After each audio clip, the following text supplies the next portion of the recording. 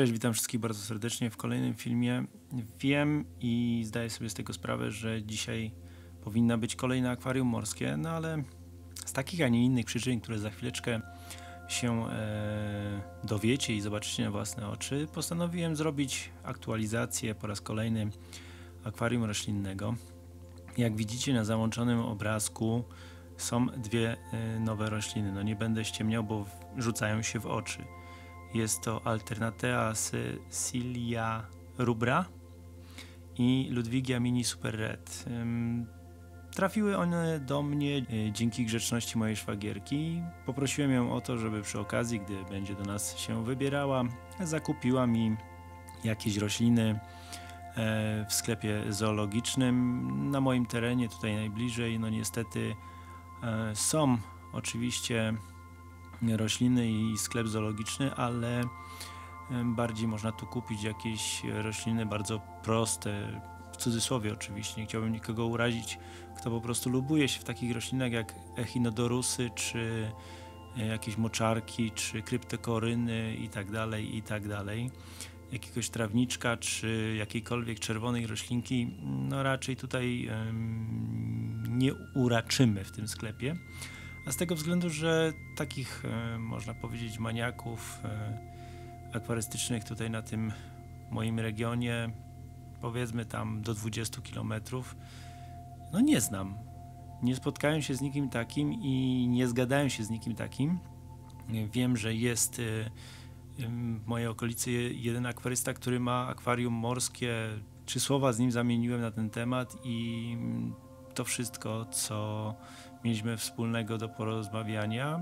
A jeżeli chodzi o akwarium roślinne, to przepraszam, jest jedna osoba, ale no, osoba, która ma rośliny ode mnie, więc e, nic więcej poza tym e, nie mogę tutaj uzyskać. Cała sytuacja wyglądała tak, że w momencie, gdy byli już w sklepie akwarystycznym, wysłali mi zdjęcia zbiorników, w którym są rośliny. Oczywiście na całe akwarium, może 200-litrowe, były dwie tylko i albo aż czerwone rośliny, bo ja w takich się lubuję. Lubię złamać tą zieleń, tak jak już kiedyś na pewno o tym mówiłem. W akwarium e, lubię mieć czerwone rośliny. Niezbyt mi z nimi idzie, ale mam nadzieję, że tym razem chociaż parę krzaczków z tych e, dwóch e, doniczek zostanie mi, żebym mógł to jakoś ładnie tutaj rozplanować. Po obejrzeniu tych, tych zdjęć stwierdziłem, że tak, biorę te e, rośliny. Nawet nie prosiłem ich, żeby mi podali nazwy, tylko powiedziałem te dwie czerwone rośliny podrzućcie mi. No i tak się e, u mnie znalazły Ludwigia Mini Super Red i Alternatea Cecilia jakoś tak, Rubra. Pewnie z tym Cecilą czy coś jakoś tam przejęzyczyłem się, ale jeżeli nie, to, to dobrze zapamiętałem. Dobrze, namieszałem. Przejdźmy e, dalej. Już mając te rośliny, stwierdziłem, że. Aha, jeszcze zanim przejdę do, do tego wszystkiego, co pozmieniałem, to jeszcze taka mm, zmianka, bo za, zastanawiałem się nad roślinami e, in vitro. Jak wiecie, praktycznie na takich roślinach bazuję w moim zbiorniku, ale ze względu na to, że mój zbiornik już na szczęście jest zarośnięty, to bałem się, że sadzonki in vitro po prostu nie dadzą, nie dadzą sobie rady i będą zagłuszone przez rośliny, które już dość dobrze sobie radzą w moim zbiorniku. Dlatego postanowiłem kupić coś już większego. Cena jednego koszyczka to 17 zł. Myślę, że to nie jest wygórowane, chociaż szukałem na ale drogo. Mm, coś podobnego, jakiś tam wybór był niektórzy nawet rzucają tam mm, takie, można powiedzieć, paczki z różnymi roślinami, ale nie były to rośliny, które mnie zadowalają. E, może z całej paczki takich tam tych 10 roślin, dwie by mi się przydały. E, aromatika była dosyć często E, pokazywana i pełzacz bagienny. To są dwie rośliny, które kiedyś chciałbym mieć w swoim zbiorniku. Aromatikę już miałem, więc e, no tylko taki powrót do tego. Bardzo przyjemna roślina. Pełzacza bagiennego miałem chyba trzy podejścia, niestety nie wyszło. A więc dobra, przejdźmy do tego, co już nabroiłem w tym zbiorniku.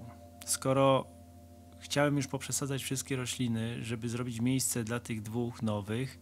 Stwierdziłem, że robiąc już dzień wcześniej porządki, czy dwa dni wcześniej porządki, znalazłem jeszcze ten żwirek, który tak się odgrażałem, że dosypię. A przepłukałem go, dorzuciłem. Było go około 10 litrów na pewno.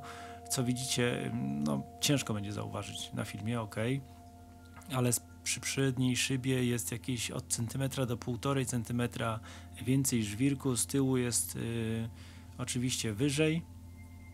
Mm, słuchajcie, przyjemność sadzenia roślin w takim świeżo nasypanym, niezbitym żwirku i którego jest o wiele więcej, to naprawdę jest fajnie. Fajnie się sadzi. Kolejna sprawa, ten świeży żwirek przykrył mi już y, żwirek kwarcowy, ten barwiony, mm, zdawało mi się, że to jest naturalne, ale to jednak jest barwiony, już zaczął jaśnieć, już zaczął gdzieś tam przebijać się jakieś białe kamyczki, czyli już wypłukany ten, ten barwnik, nie wiem czy nawet to barwią. W każdym razie y, gdzie niegdzie już były e, jasne ten, te kamyczki i brzydko to wyglądało. Bardziej e, podoba mi się ciemne podłoże. Więc dosypałem tego żwirku. Poszedłem do ogrodu, tylko cicho. To, co teraz powiem, jest tajemnicą. Przywłaszczyłem sobie od żony z ogródka kilka właśnie tych łupków. Poukładałem to w takiej, a nie innej formy. Mistrzem e, aranżacji nie jestem, ale myślę, że jak na mnie to nawet nieźle to wyszło. E, chciałem zrobić takie w cudzysłowie oczywiście nazywając to boksy, gdzie poszczególne rośliny, zwłaszcza staurogynę czy e, lobelia będą mm, zamknięte, nie będą się rozprzestrzeniać, chociaż podejrzewam, że staurogyna sobie da radę. E, druga sprawa, chciałem e, te, tymi barierami zasłonić kolejne te warstwy roślin, czyli środek i tył, który jak wiecie, przeważnie e, jest e, brzydki u dołu, a najpiękniejszy u góry. Dlatego chciałem sobie zaoszczędzić troszeczkę pracy na przyszłość i w momencie, gdy tnę rotale, ona jest taka brzydka e, w tych dolnych partiach, to dopiero będzie się pojawiała za tych skałek, jak już zacznie puszczać nowe szczyty czy tam odrosty. I tak to po, po, prostu rozplanowałem. Myślałem długo nad tym, jak to poukładać te rośliny w zbiorniku, ze względu na to, że Pogestemon erectus dosyć ładnie zaczął rosnąć. Posadziłem go w dwóch miejscach i w dwóch miejscach ma takie samo zadanie, czyli zasłaniać e, wloty i wyloty e, filtrów, co myślę, że zda egzamin. Nie wiem, czy tutaj skimmer, który jest e, po prawej stronie nie będzie nim za bardzo targał, ale zobaczymy. Z pozostałych roślin, które, mi, które miałem w zbiorniku, czyli Rotala bonsai, została posadzona zaraz przy kamieniach po lewej stronie zbiornika. Przed nią posadziłem dla złamania tej zieleni alternatę Rosa Nerving. W centralnej części postanowiłem posadzić lobelię i w samym środku wsadziłem jedną E, właśnie alternatę Rosa Nerving. Zobaczymy jak odrosną, jak to będzie wszystko wyglądało i żeby analogicznie ten przód troszeczkę wyglądał podobnie mniej więcej, to z drugiej strony e, bakopę posadziłem i przed nią też jeden krzaczek alternatę Rosa Nerving i już całkowicie z prawej strony staurogynę. No powiem Wam szczerze, że na to, co wyrwałem tej staurogyny, to to, co posadziłem, to jest jedna chyba trzydziesta. E, oczywiście reszta roślin pójdzie do sklepu zoologicznego. Nie chce mi się przebierać. E, dostaną całe wiaderko, będą chcieli to sobie powybierają, co po niektóre rośliny. Jeżeli chodzi o tylni plan, to właśnie wskoczyła tutaj alternatywa rubra e, po jednej, jak i po drugiej stronie Tutaj można powiedzieć, że ta lewa strona wyszła mi bardziej przejrzyście, prawa troszeczkę jest tak nawrzucane tych roślin. Zawsze tak jest, że zaczynamy planować, no to tutaj ładnie sadzamy, a później nam zostają rośliny. No i co z nimi zrobić? No trzeba gdzieś je poupychać. I z lewej strony za rubrą jest y, Pogestemon erectus i ten mój y, orzech wąskolistny. Też zostawiłem tam dwie gałązki w razie czego. W centralnym punkcie znajduje się rotala. Zawsze chciałem osiągnąć taki efekt, że rotala wystaje z za jakich kamieni. No, podobał mi się ten, y, ten sposób sadzenia rotali, więc może i u mnie też to będzie fajnie wyglądało, jak zarośnie za tych kamieni, będzie się tam gdzieś przebijała. Oczywiście będę musiał ją troszeczkę stopować, jeżeli będzie się wcinała w inne rośliny. I przechodząc bardziej w prawą stronę, yy, też jest yy, alternatywa rubra, yy, jest też yy, Pogestemon erectus i alternatywa ta moja, nie pamiętam nazwy dokładnie co wcześniej kupiłem. I to tyle, jeżeli chodzi o obsadę roślin. Zapomniałem o jednej o Ludwigimii Super Red, która, którą posadziłem e, między kamieniami z przodu, przed tymi kamieniami. I też ma się taki mój zamysł, żeby ładnie zagęścić i, i ładnie przysłaniać troszeczkę te kamienie, ale żeby delikatnie za, nich, za niej te kamienie się przebijały. Zobaczymy, jaki będzie efekt końcowy. Mam nadzieję, że ten efekt, który teraz widzicie, no, przez jakiś czas będzie tutaj w tym zbiorniku.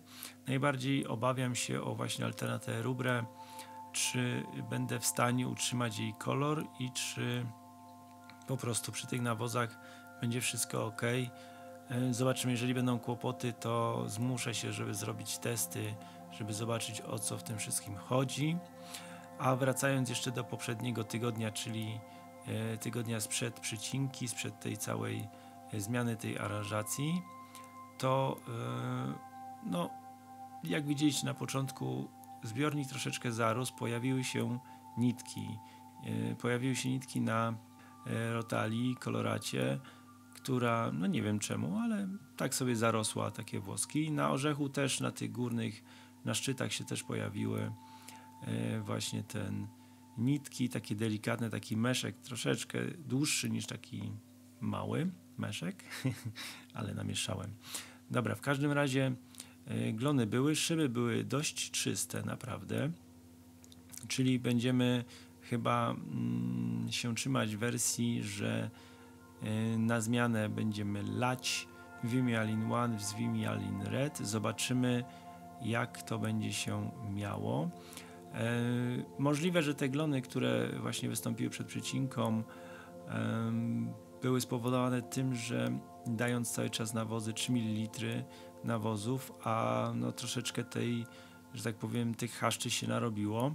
Mogły wystąpić braki, ponieważ z tego co pamiętam, jak mi pisali kiedyś e, w, panowie z Wimi, to żeby nie przesadzać z nawozami, ale też nie przegapić momentu, gdy ta masa roślina się zwiększy i mogą wystąpić braki. No troszeczkę to jest takie taka loteria, jak to całe moje e, akwarystyczne życie, jeżeli chodzi o akwarium roślinne. Mm, więc muszę na to zwracać uwagi, muszę znaleźć czas na to, żeby e, przynajmniej raz dziennie rzucić okiem na zbiornik w pełnym oświetleniu, zobaczyć jak to wszystko wygląda. Męczy mnie ta półka, którą mam nad zbiornikiem. Będę teraz twardo negocjował, żeby ją usunąć, żeby podnieść oświetlenie do góry, może to, że nisko są y, postawione na szyb, praktycznie na akwarium, jak je podniosę, może nie będzie takie ostre to światło i właśnie na szczytach nie będą się pojawiać glony. Zobaczymy, jak to wszystko wygląda. I jeszcze jedno na koniec. Postanowiłem, że no przy nieszczęściu, o, że tak powiem, y, w momencie, gdy ściągałem wodę, E, w tym całym mule i tak dalej. Gdzieś e, biedna Molinezja, w cudzysłowie biedna, bo chyba karma ją dopadła. Po prostu wężyk ją wciągnął, e, który, z którym zlewam wodę i w takim stanie już wyleciała z drugiej strony, że wężyka, że ciężko było ją odratować. Mimo tego, że odłowiłem ją i wrzuciłem do zbiornika, znaczy wpuściłem do zbiornika, niestety nie przeżyła i z tego powodu prawdopodobnie pochłapię się do sklepu zoologicznego po raz kolejny i zakupię kilka razbor. Na początek będzie to 5. Jeżeli moje fatum z tymi razborami minęło, czyli chociaż cztery z tych pięciu zostaną, przeżyją do następnego tygodnia, to analogicznie kupię kolejne pięć, zrobi się taka fajna ławica. No i, i tyle. Ocencie, jak y, widzicie tą aranżację, czy Wam się podoba, czy przypada Wam do gustu, czy w ogóle coś z tego y, będzie. Mm, Jeżeli ktoś ma doświadczenie z tą alternatywą rubrą, to dajcie znać, co ona lubi. E, Na tych właśnie metkach y, z roślin fajnie jest napisane. e, No, oczywiście, że CO2 to każda potrzebuje, to normalne, ale e, poziom oświetlenia. Jest pełne słoneczko, tam przy tej właśnie alternaterze, przy Ludwigi Mini Super Red było takie słoneczko za chmurką, czyli potrzebuje mniej światła, tak mi się to wydaje. Bardzo fajne i jasne określenie, więc oby tak y, ten obrazek zapadł Wam w pamięci i żebyście mogli go oglądać i ja przede wszystkim y, częściej, a nie tylko teraz po takim, można powiedzieć w cudzysłowiu, restarcie tego zbiornika, bo dużo się zmieniło, nowy żwirek, e, nowa aranżacja i to tyle. Pozdrawiam Was i do usłyszenia w kolejnym filmiku. Cześć.